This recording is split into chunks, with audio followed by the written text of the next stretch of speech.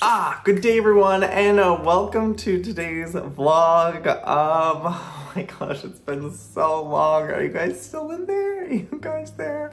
I think I should probably start off by saying I am so, so sorry for leaving you guys hanging these past couple months. I feel like there's a lot to update you guys on and that's kind of what this video is, is a bit of a life update slash apology slash explanation on things and also where I'm at right now, what I'm doing, why hasn't there been content on this channel for so long. There's a lot to explain, so we're gonna get into it. And I'm also in London right now and I feel like we should maybe start off with a flat tour so you guys can see what my place looks like here. But before we do get into that, I do wanna give a huge thank you to today's sponsor, Hay Day. Heyday is a cozy farm farming simulation game that's captivated millions of players over the past 12 years. It's also been my go-to game for when I'm on the train or if I'm trying to unwind right before bed because it's such like a peaceful game. And it's also been so nice to have some virtual pets to take care of, especially because I'm traveling right now and I don't have my pets with me. So it's been very nice to have them. Also, Hay Day is hosting an exciting Easter event from March 18th to April 6th featuring a chocolate bunny hunt. Every chocolate bunny collected in-game will help support their mission because Hay Day is so generously donating $50,000 to Fauna and Flora, which is a group dedicated to sustainable farming initiatives and climate change resilience. To join the event, simply reach level 17 to unlock access to the boat and receive your free building egg maker on March 18th. Produce these eggs to sell to the boat in exchange for chocolate bunnies. Plus, if you download today, you'll receive 15,000 coins and an Easter planter for free. So if you guys are interested, make sure to click the first link to download Hay Day and use the second link link to claim your 15,000 coins and free Easter planter. All right, now let's get on with the flat tour. Shall we? We shall. Okay, so starting off in the hallway, I just have to warn you guys, this is probably the craziest lighting ever. They're like, oh my gosh.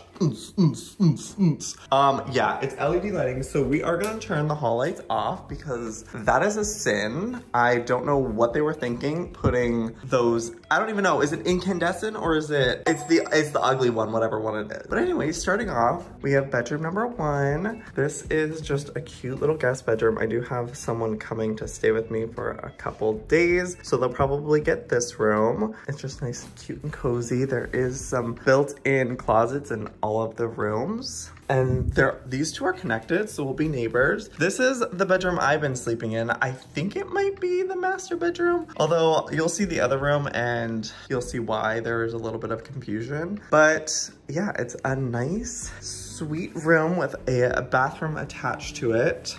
Hello again. The lighting is kind of crazy in here, uh, but this one also has a shower and the shower is so interesting because it's a button you press. It's like a power button and that's like it. It's very odd.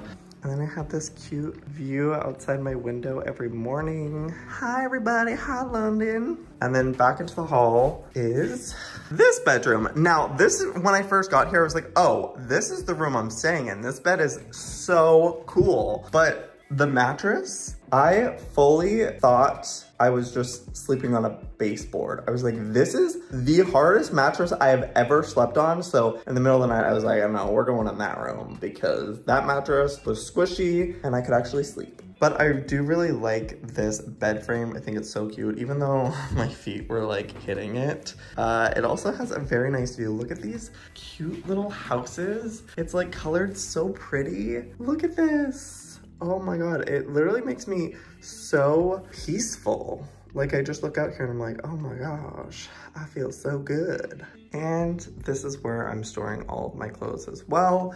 And then you head out here and this is the bathroom that I've been using more than that one. Uh, this one has a bath, I still haven't used it yet, but cute, ha. And then also similar shower with the weird power button thing. And the same pretty view. But then you come up here and this is mostly where I've been spending my time up here in the loft kitchen. So yeah, it's like, I personally love attic spaces or like things that feel like attics. So I don't mind that the roof is very slanted and kind of, I don't know, it just gives like a cozier vibe. But very nice, comfy couch. And then over here, I have my gaming setup where I've been playing Minecraft again. So if you wanna go check out my gaming channel, I've been posting some Minecraft vids over there. And yeah, this has just kind of been my cozy chill space. I just rewatched all of Avatar The Last Airbender and now I'm back onto Korra because I never finished Korra, but yeah,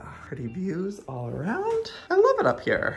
Okay, now that we got the house tour out of the way, or the flat tour, I feel like it's time to update you guys on what my life has been. I feel like, oh, Joey, like, why are you here? Where are you? Like, why are you not at your house? I'm sure there's just a lot of confusion. And I really haven't talked about any of this anywhere, so this is all very, also cute. I have lovely toothpaste stains. Actually, there's a trick.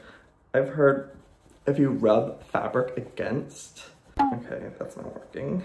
Okay, it kind of worked a little bit. No, it's still there. Anyways, um, I just want to come on here because it's obviously been a long time since I posted a video on this channel. Okay, so here's the thing. I rented my house out back in November and I it's like a, a six to nine month rental basically they'll get to decide if it's gonna be nine months so I don't know when I'm going to be going back home it could either be in May or it could be August I'll find out soon so anyways I did that because I my mental health was really declining I was feeling very depressed and obviously the house that I live in is way too big for one person. That was very much a family house. And then after the breakup, it's just me living in this house with my animals.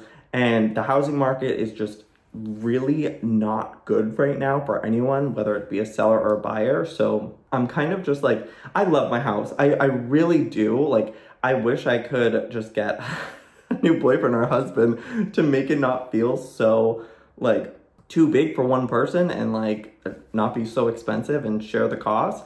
But um, right now, in the meantime, I'm kind of stuck to do anything. So I made the decision to rent it out so I could kind of go figure out my life. And that's what I've been doing. I've been doing a lot of traveling. I've been in London quite a bit. And I absolutely love it here so much. So I've been considering making the move here, but I just don't resonate so much with LA culture or American culture that much. I think because it just feels like a very isolating like society just because everybody's like just either in their cars or at their house or at work.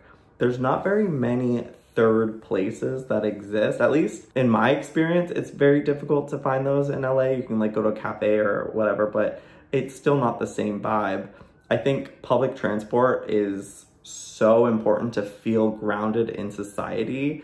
And that is like a huge thing in London that I absolutely love. I'm like, yes, let's take the tube. Like you can get anywhere in the city in like a half an hour and just put on your headphones, like just, I don't know, feel like you're amongst people. And I don't get that in LA. And then even just like walking down the street, like there's, everything's walkable here. You can walk to the grocery store five minutes down the road, you can go to a cafe, you can go to restaurants. It's just so nice to be able to walk and see other people also doing that. So I really just enjoyed the culture here in London so much and it's just beautiful. Everywhere you look, it's just like stunning. Like I'm looking out my window right now and I'm just like taking in everything and that just doesn't really exist in LA. It's kind of not the prettiest. So anyways, my mental health when I'm here is so much better, but on the flip side of that, I miss making content on this channel that's animal focused. Like I truly miss so badly fostering. Like I can't wait to get back into my house to go back into the fostering cycle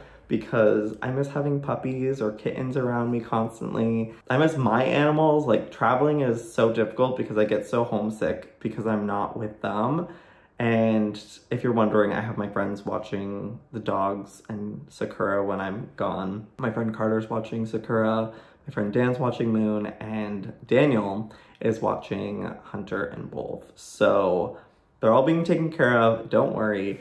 But yeah, I do miss them. And I'm just in London for the next couple weeks and I'll be back in LA. But it's been hard not having like a home base like bouncing around, it sounds fun, but it's really difficult for Taurus who likes to have his roots and his routine be constantly moving around and it's exhausting, but I'm very lucky that I'm in a position where I can work from anywhere. So I'm not taking it for granted how fortunate I am to have this opportunity to have the flexibility to explore and experience um, living in different areas. But I think I need to figure out where I belong and where I want to live. And I'm still figuring that out. So I don't really know. But anyways, uh, I want to show you guys a bit of what my life has been like in London or just like what it's like in London and I'm gonna take you guys on a little adventure. Let's go. It is such a beautiful day out in London today. Uh, I've actually headed to central London because there's this perfume that I smelled last time I was here. Oh my God, what is this tree? What are you, beauty? What is this? Why are you so white and pretty? I don't smell anything. But anyways, there was this perfume at the store called Liberty, which was this beautiful old department store. And I asked this guy what cologne he was wearing and he was like, oh, I don't remember. Or I, he said something of like, I don't know the name. It, but that was the actual name of it. It's like, I don't remember or I don't know. So I'm going back to try and find it. We'll also run a couple other errands. I also want to grab a latte. But yeah, Let's go. Also, this is the fit of the day. A little bit of a 70s theme going on. I don't like it.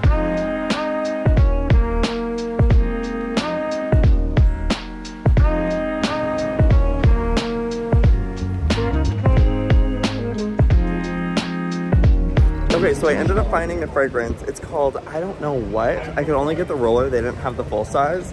But even this was like $90.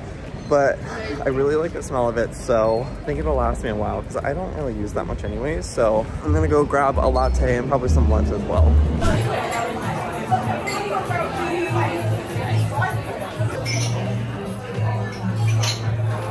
Well, it's much later and I'm back at my flat. I'm watching Legend of Korra and honestly, I get why I never finished it. It's like not good. Like compared to Last Airbender, this is just, it's so difficult. I don't like Korra. I think she's so whiny and annoying and kind of useless. Uh, does she get better? It doesn't seem like it. I'm on the last season. I'm like, I can barely get through these damn episodes. Like, and I think maybe because Aang and that crew was like so fresh in my mind, I'm like, nothing can compare. So I'm just struggling, honestly. But anyways, today was fun and now it's time for bed. It's almost midnight, so I should probably stop watching anime and sleep. But anyways, I hope you guys enjoyed this video uh, and I'm glad to be back. And again, a huge thank you to Hay Day for sponsoring this video. If you guys want to check it out, the links will be down below. But yeah, that's it for today. Until next time, I'll see y'all next time. Good damn, bye.